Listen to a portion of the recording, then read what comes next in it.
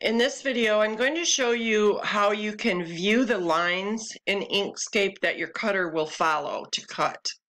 Um, so I have an SVG file here, and I also have some text that I turned into a path.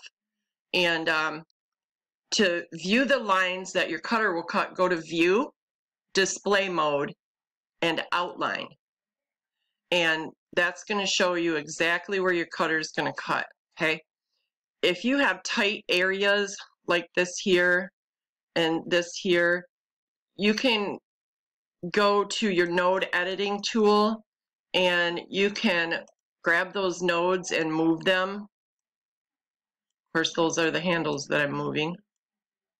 But um, to open up that area, because if you're using vinyl and you have a tight area, it sometimes gets stuck and then it pulls your pieces up. So this comes in helpful for that.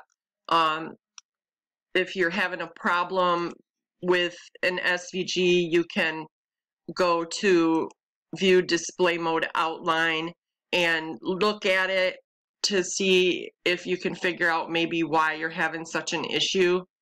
Um, another thing is for letters, your openings in your letters. Sometimes especially if you make your font um, thicker by going to path outset or doing a linked offset, the insides of letters become very small and hard to weed out. So you can go to your node editing tool, click on your text, and then scroll in and you can select those, drag a box around them, and make it bigger so that it's not so hard to weed. And then you can go back to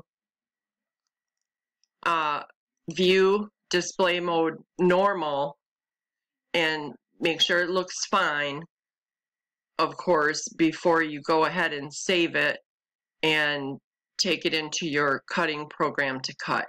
So I hope this is helpful. I'll see you in the next video.